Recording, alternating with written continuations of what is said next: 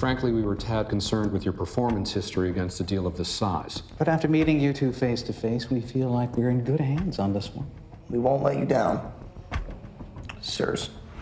Not to mention, your bid was far too attractive for us to pass up. What did you mean by that exactly? He means you boys lowball the entire industry. Yeah, yeah. Uh, by how much? You guys came in $53 million lower than the nearest competition.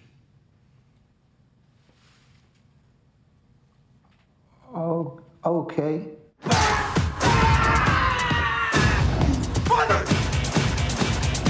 Now to a question that still has no clear answer. How did two 20-something young men land a $300 million Pentagon contract? I have a big idea.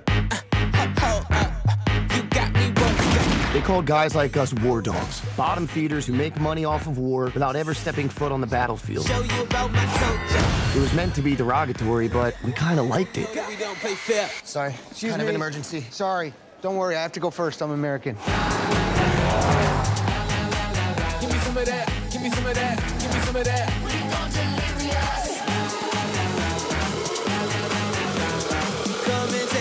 You seriously want to drive to Baghdad? David, we're gun runners. Let's go run some guns. Give me some of that. Give me some of that. Give me some of that. Give me some of that. Give me some of that. Give me some of that. Give me some of that. Give me some of that. Give me some of that. You're getting closer. Come on, man. Go. You drove these through the Triangle of Death.